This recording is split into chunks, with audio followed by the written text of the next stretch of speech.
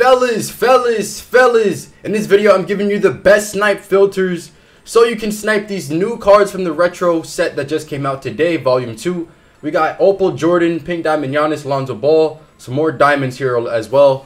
Let's get straight into the filters, guys. If you're new to the channel, if this video helps you out, or if any of my videos ever helped you out, consider subscribing because most of you guys who watch the videos are not subscribed and I would appreciate it if you did. And hey man, I'm here to help you, okay? Let's get into the filters. Alright, so the first one we're going to talk about is, well, we're going to go up progressively. So we're going to start with the lower tier cards. We're going to talk about the diamond cards that are in this set. So we're going to go diamond.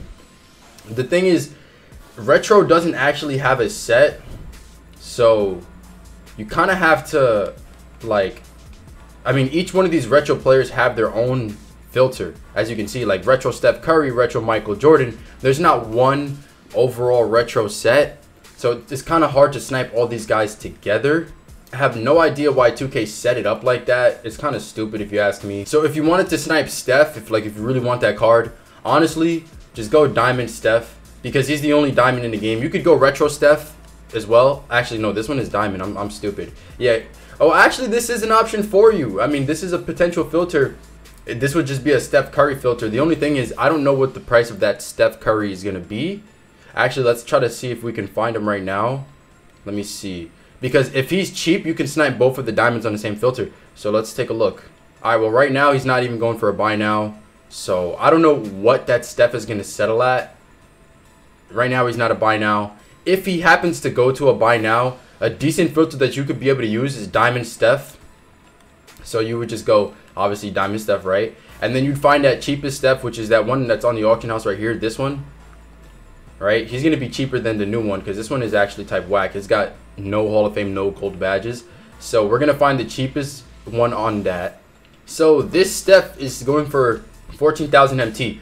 So what you could do, there's two options. This is the first option. When he, when the new Steph, the MVP one, when he starts to settle in price, which would be like three or four hours from now, once he once that happens, you look at his price and you can set up the filter like this. Now, if the MVP Steph or the new Steph is going for an expensive price, the odds of him popping up on this filter are very, very low. But regardless, it's still a possibility. So I would probably set the filter to 12,000 diamond Steph. At this point, you should still make profit if you were to get that cheap Steph that from the League Series 2 the the the whack one and sell them back for 14,000, you should still make profit off of that. You know, like 600 I think. So go ahead set it up like this. Now, if the Steph is expensive, like if he's not a buy now, the new one, you can still use this filter to hopefully get him. It's just going to be less likely. Uh, but another thing you can do is you can just snipe retro Steph by the theme. So obviously just go theme until you see retro Stephen Curry, the GOAT, by the way, best shooter of all time, thanks. And then you just put minimum about 500, but I don't know if he's going to stay above a bid or not. So it's kind of hard to predict. I wouldn't do this right now. I would do this later on when the prices start to settle. And then obviously you could do the same thing with the Dennis Rodman, although I do think the Dennis Rodman is going to be cheap. So we're just going to check him out real quick. I'm not really interested in Dennis Rodman. I think most of you guys would not be. I mean, some of you may want like a good defender, and I understand that. I mean, he's already a buy now. If you want to snipe Dennis Rodman, the way you do it is you just find the cheapest version of him He's I said I've already seen one for 50k. But he's gonna be going down in price right now because he's new in the packs. Look at that, 30k even. So you just find the cheapest Dennis Rodman, and then you you adjust the filter to where if you were to see, or I mean, you adjust the filter to where you're still gonna make profit off of a Dennis Rodman snipe. So obviously you have to do the math yourself to figure that out. Look at this is even 23,000, 20,000 MT.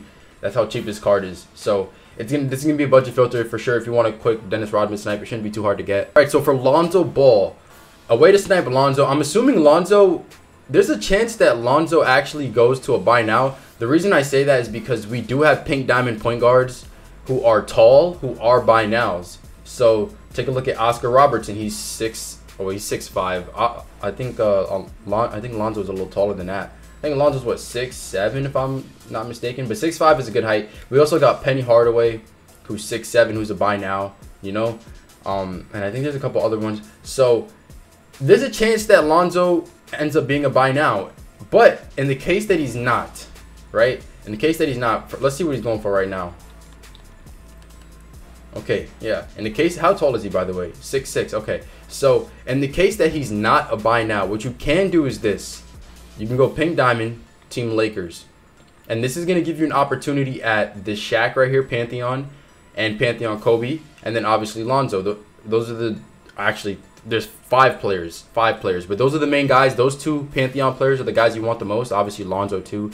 Now, James Worthy is here. Magic is here. This Magic is still a snipe he's not he's he's kind of old at this point, but I mean he's still he's a six nine point guard and he's going for a good amount of MT. So yeah, you can snipe that as well. Now what you could do, you can go pink diamond Lakers point guard if you want to go specifically to get Magic and Lonzo only on the filter. If Lonzo happens to be a snipe that is like above 100 KMT, you can do this. If he's not, then I wouldn't recommend doing this. Also, if he is above 100k MT, what you could do to filter out the James Worthy, you have you have an option of either just buying him straight up because he's a, he's he's not expensive, he's cheap. As you can see, that one's going for 50k. Could probably find it for cheaper. Oh, there's a LeBron on here too. Ah, I didn't even know that. Mm, that's another man. It's another man for you to snipe. So I didn't even know that. I didn't even know that card existed. That's how you know I don't keep up with this stupid game. Anyway, so yeah, you can go the filter Pink Diamond Lakers, and you would put the minimum buyout to 500. I mean not 500, 100k as well as the minimum bid to 100k if you didn't want to buy James Worthy that is because that's going to filter him out as you can see no cards are popping up and you're only going to see players that go for 100 KMT. Now one of my uh, subscribers or one of the viewers one of you guys pointed out that you can actually lower this price here on this filter so to the point where you you have a a higher chance of seeing more snipes, which I never pointed out, which is actually a good idea because I always forgot about it. All right, so I'm looking at James Worthy, right? The most expensive James Worthy on the auction house right now is this one right here for 68,000. So, you know, usually I tell you guys to set up a filter according to the cheapest of what the cheapest is going for, but in a filter like this, it's it's kind of the reverse where you set it to where what the most expensive is going for. So in this case, James Worthy is going for 68k. It's kind of unpredictable what someone can post them at. So what you could do is you could put the minimum bid to 75k I would you could put it to 70k, but there's a chance that someone posts one for 70k, so I wouldn't risk it. So I would just put 75k, the minimum buyout as well. Put these both to 75k, and then at that point, you're gonna have more options of snipes you can see because if you put it to 100k, 100k, you're only gonna be able to see snipes that go up for 100k, 100k. But in this case, if I put it like this, no cards are still popping up. But at the same time, if someone posts a Pantheon Kobe for uh, 80,000 MT, I can see it as opposed to if I was on the 100K version of this filter, I wouldn't be able to see it. So that's what I'm saying. Now, if someone starts to post, if, if James Worthy start going up for 75K, then you just increase the minimum bid, increase the minimum buyout, maybe by like 5,000 MT, and then you're good. That's why you want to find the most expensive one. The most expensive one, set it up to the price near that, and there you go. You, are giving yourself a chance at more snipes like this. Now, if Lonzo happens to be a buy now, I probably wouldn't even be interested in sniping him. But if you were, you can snipe him the same way that you would snipe uh, Dennis Rodman. Obviously, just go retro theme Lonzo, and then just find the and just snipe him up to the cheapest one, right? The same way that yo I always set up the budget filters and um, all all those kinds of filters that are under 100k. So for Giannis, there's a couple things you can do. Giannis there's two pink diamond Giannis's in the game at this point, right? So this one, I'm not sure if this is gonna get you profit. 38 minutes left, 100k bid on there. So I don't know if he's gonna make profit or not. Only you guys would know that when this video goes live, and you know obviously more time has passed on this. So, but right now that I'm recording this, I don't know.